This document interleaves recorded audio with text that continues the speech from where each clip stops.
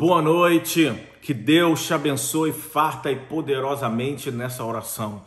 Existem pessoas que estão cansadas, abatidas, preocupadas, tristes, desesperadas, agoniadas.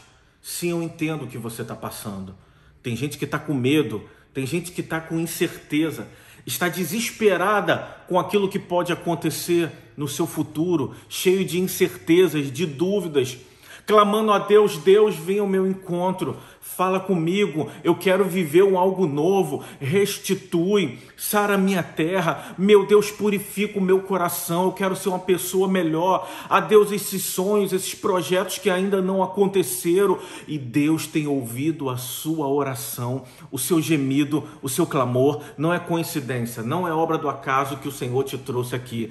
Deus me levanta nessa noite, nessa hora, para te dizer que Ele te ama que Ele te quer, que Ele não se esqueceu das suas promessas e que Ele vai te abençoar. Deus tem um plano na sua vida. Você que tem clamado, vem, Senhor. Vem me envolver, vem arrancar de uma vez por todas essa tristeza, essa agonia, essa dor. Agar estava no deserto e o deserto da vida é lugar de frustrações, decepções, apatia, tristeza perdas, dificuldades. Nesse real momento, você está enfrentando um deserto, você está vivendo sol escaldante, falta de alimento, falta de água, falta de Deus, Ele é o pão da vida, as águas purificadoras vêm do trono da glória do Senhor. E você está sedento, você está sedenta, mas vai vir um alívio, a cachoeira do céu vai jorrar sobre a sua vida nessa oração. Não saia desse vídeo, Fica até o final que eu quero orar junto contigo. Eu quero clamar ao Senhor pela sua vida. E nessa oração o teu socorro vai chegar. A esperança da glória vai te envolver. Deus vai te iluminar. Deus vai trabalhar em seu favor. Agar estava no deserto, se afastou do menino porque ele ia morrer. O menino está chorando, o menino está chorando, Deus está vendo o seu choro. Então Deus enviou um anjo e disse: Agar, não temas, o Senhor ouviu o choro do menino e ele vai transformá-lo em uma grande nação. Rabacarabacharabacarabachaya. Eu sinto Deus me envolver, eu estou todo arrepiado aqui. Eu sinto a glória do Senhor me envolver. Deus está falando contigo. Deus conhece o seu problema. Deus vai intervir, Ele te ama, Ele te escolheu. Você é escolhida do Senhor, vaso de honra. Os discípulos enfrentaram uma tempestade. Eles estavam no barco. Uma tempestade poderosa, quase o barco afundava, e a pique. E o Senhor Jesus disse para o vento: Cala-te, fica quietinho. E disse para o mar: Aquieta-te. Bora parar com a bagunça. O Senhor, quando entra, ele entra para resolver. Os discípulos estavam aterrados de medo. Mas eles chegaram do outro lado no seu destino. Quando o barco parou, de repente vem um doido, vem um maluco de pedra, vem um homem endemoniado, sujo, que vivia no cemitério, no sepulcro. As correntes não conseguiam suportar, segurar ele, rejeitado pela sociedade. Ele tocava o terror naquela cidade. E de repente ele veio até o Senhor Jesus e disse: Mestre, o que tu vens fazer aqui? Porque você vem me atormentar? Porque você veio aqui me perturbar? Olha que interessante. Quando os discípulos estavam no barco com Jesus, os discípulos, eles falaram quando Jesus disse para o mar e para o vento: Aquieta-te, para. Mas quem é esse que até o mar e o vento lhe obedece? Mas o endemoniado, o endemoniado sabia mais de Jesus do que os próprios discípulos. E o Senhor Jesus perguntou para ele: Qual é o teu nome? E ele disse: O meu nome é Legião, porque somos muitos. Então o Senhor disse: Não quero saber se são muitos, eu só quero que saia dele.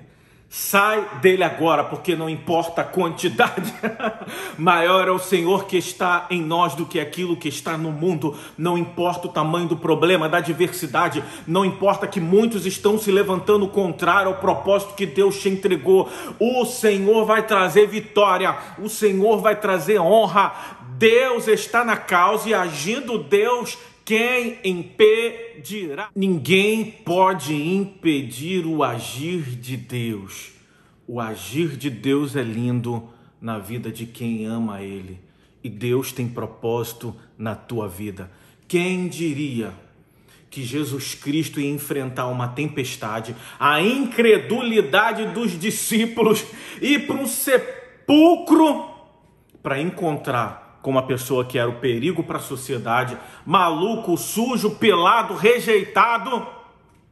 Sim, aquilo que é improvável para a sociedade, aquilo que foi rejeitado, esquecido, humilhado, jogado ao limo da miséria, do sofrimento, são essas pessoas que Deus se importa.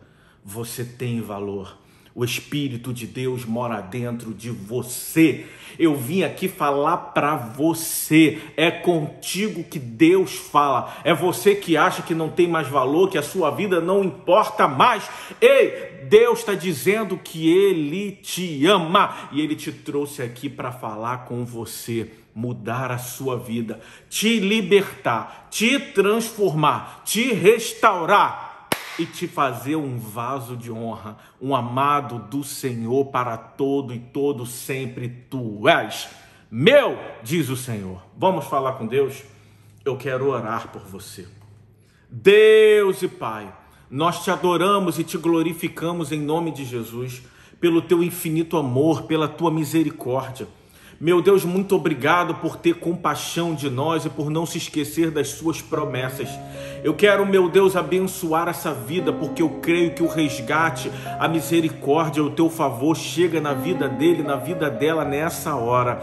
Pai, em nome de Jesus, assim como o Senhor foi com a vida daquele homem rejeitado, banido, sujo, pecador, imundo para a sociedade, o Senhor trouxe a restauração, a libertação, a cura, o renovo, o transbordar da tua presença, e ele foi um instrumento do Senhor para aquela aldeia, para aquela cidade.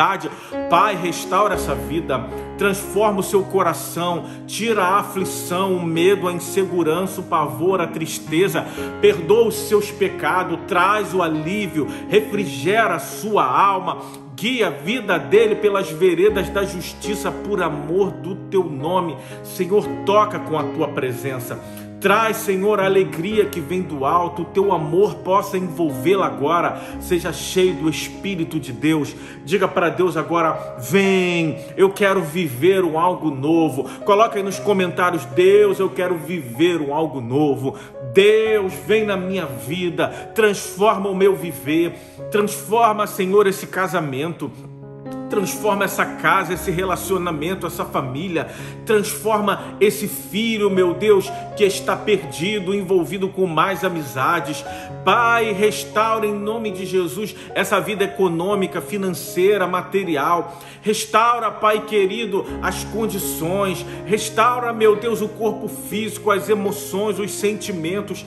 Tira, meu Deus, a fadiga, o cansaço, essa dor, esse inchaço. Meu Pai eterno e soberano, restaura, toca, em nome de Jesus. Sai problema, sai as legiões, sai toda a quantidade de mal que existe na vida dele, na vida dela, de uma vez por todas, em nome de Jesus. Entenda uma coisa: não importa a tempestade, não importa a dificuldade não importa as barreiras, o Senhor vai enfrentar o que for necessário para entrar na tua vida, para mudar a tua história, para restaurar o teu casamento, para te fazer uma pessoa feliz, para mudar a sua sorte, para te entregar a vitória, porque Ele te ama. Deus te ama e te quer mais do que tudo nessa hora. Se você não é inscrito nesse canal, já se inscreve no canal, já deixa o seu like, o seu joinha, o seu gostei. Clica também no sininho de notificação em todas, para você não perder nenhuma das notificações do YouTube quando nós lançarmos vídeos aqui no canal. Que o Senhor te abençoe e te guarde. faça resplandecer o seu rosto sobre ti, tenha misericórdia de ti, te dê a paz e a bênção do Altíssimo hoje, amanhã e para todo sempre. Em nome de Jesus. Amém.